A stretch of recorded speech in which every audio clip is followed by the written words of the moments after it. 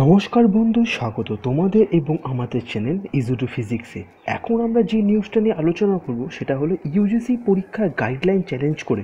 ফের সুপ্রিম কোর্টে মামলা করল ওয়েব কুপা পরীক্ষা নিয়ে ইউজিসির জারি করা নয়া গাইডলাইনকে ঘিরে বিতর্ক যেন পিছুই ছাড়ছে না। এবার শাসক দলের অধ্যাপক সংগঠন তথা তৃণমূল কংগ্রেস পরিচালিত অধ্যাপক সংগঠন ওয়েব কুপা ইউজিসির সম্পর্কিত পরীক্ষা নিয়ে জারি করা গাইডলাইনকে চ্যালেঞ্জ করে সুপ্রিম কোর্টের দ্বারস্থ হলো। মূলত করোনা ভাইরাস সংক্রমণ পরিস্থিতিতে যে হারে বাড়ছে, সেই নিরিখে এ রাজ্যে ফাইনাল ইয়ারের ছাত্রছাত্রীদের পরীক্ষা নেওয়া সম্ভব নয়। আর তাই ইউজিসির তরফে জারি করা গাইডলাইন নিয়ে সুপ্রিম কোর্টে দ্বারস্থ হয়েছে শাসক দলের এই অধ্যাপক সংগঠন।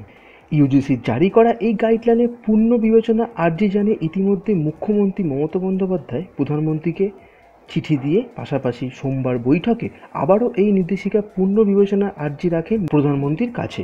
যদিও রাজ্যের উচ্চশিক্ষা দপ্তর তরফে আলাদা করে সুপ্রিম কোর্টে কোনো মামলা না করা হলেও ওয়েব কুপার করা মামলাতে রাজ্যকেও রাখা হচ্ছে। এই প্রসঙ্গে ওয়েব কুপার সভাপতি কৃষ্ণকলি বসু বলেন, আমরা অনেক দিন ধরে অপেক্ষা করলাম। মুখ্যমন্ত্রী, প্রধানমন্ত্রীকে চিঠি দিয়েছেন, শিক্ষামন্ত্রী, রাজ্যপালের সঙ্গে বৈঠকও করেছেন। কিন্তু ইউজিসির তরফে যে গাইডলাইন জারি করা হয়েছে তা পূর্ণ বিবেচনা বা বাতিলে কোনো ইঙ্গিত পাওয়া যাচ্ছে না ইউজিসির তরফে। তাই আমরা সুপ্রিম কোর্টে দ্বারস্থ হয়েছি। আশা করছি শুক্রবার এই মামলা শুনানি হবে। রাজ্যে উচ্চশিক্ষা দপ্তরে অ্যাডভাইজারি মেনে ইতিমধ্যে রাজ্যের বেশ কয়েকটি বিশ্ববিদ্যালয় মূল্যায়ন প্রক্রিয়া শুরু করে দিয়েছে। কয়েকটি বিশ্ববিদ্যালয় আবার ছাত্রছাত্রীদের ফলাফল প্রকাশও করে দিয়েছে। যদিও ইউজিসির তরফে জারি করা এই গাইডলাইন নিয়ে রাজ্যের তরফে শিক্ষামন্ত্রী পার্থ চট্টোপাধ্যায় ইতিমধ্যে রাজ্যপালের সঙ্গে বৈঠকও করেছেন।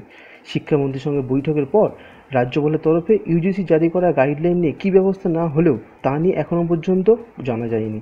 রাজ্যের ছাত্রছাত্রীদের সুরক্ষাটা আমাদের কাছে গুরুত্বপূর্ণ। আমরা আশা রাখছি সুপ্রিম কোর্ট এই বিষয়ে ইতিবাচক পদক্ষেপ জানাবে। তাহলে এই শুক্রবার জানা যাবে যে আলটিমেটলি ফাইনাল সেমিস্টারের পরীক্ষা হবে কি হবে না। তো আপাতত এই পর্যন্ত। যদি ভিডিওটি ভালো লেগে থাকে তাহলে প্লিজ চ্যানেলটিকে সাবস্ক্রাইব করে দেবেন এবং লাইক অ্যান্ড শেয়ার করতে কিন্তু ভুলবেন না।